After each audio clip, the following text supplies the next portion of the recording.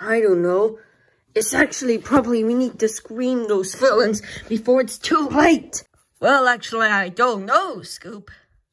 Because it's actually Pasco the Parsnip and Friends. Well, well, well. Stop right there, pesky villains, because Smoochy wants to scream at you. Don't be ridiculous.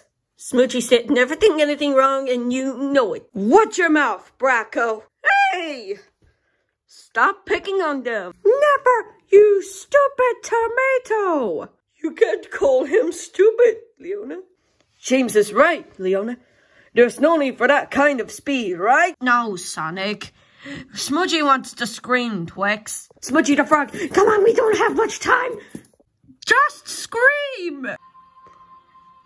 That's it.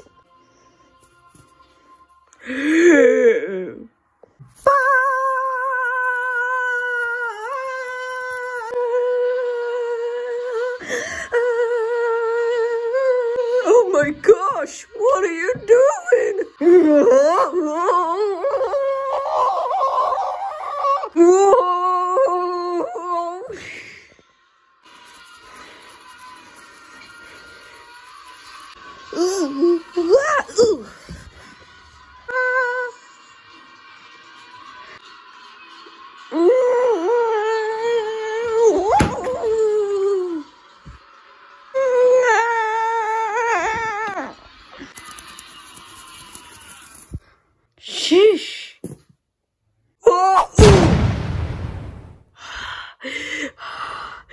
Looks like he likes to scream. Whoa! Thank you.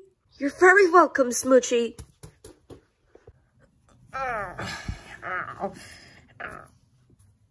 My back hurts. Oh, oh, oh, I have a sore toe.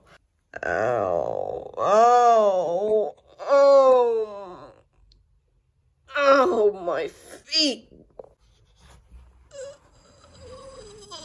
My hands.